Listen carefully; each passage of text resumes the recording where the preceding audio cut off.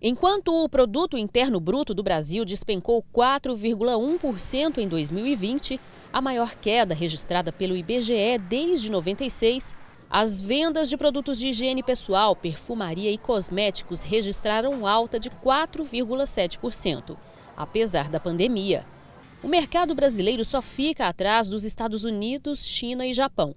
Os campeões de vendas foram os produtos de banho, com crescimento de 18,5%, e os de cuidados com a pele, uma alta de 13%.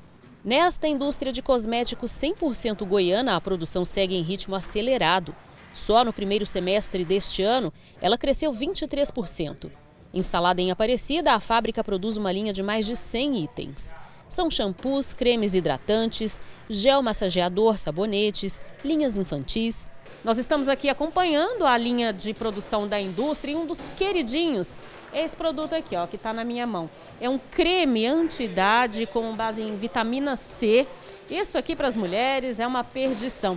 E acabou também que esses produtos da linha de skincare foram os que mais cresceram ao longo da pandemia. Foi um crescimento de 40%. E hoje, só daqui devem sair em torno de 5 mil unidades. O consumidor que está mais em casa, que fica mais tempo em casa, passou a se preocupar mais com o cuidado, é, o cuidado da pele, com o cuidado da saúde, com o autocuidado, né?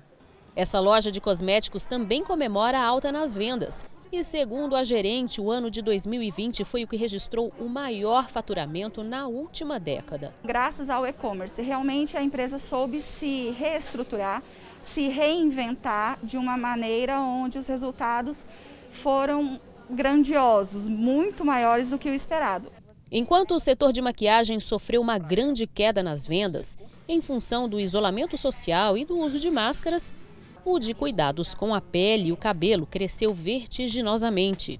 Todo mundo acostumado a ir para salão, pintar cabelo, arrumar o cabelo no salão. salão fechou, a raiz cresceu. O que, que eu vou fazer? Eu vou comprar uma tinta, vou ver como que faz e vou pintar em casa.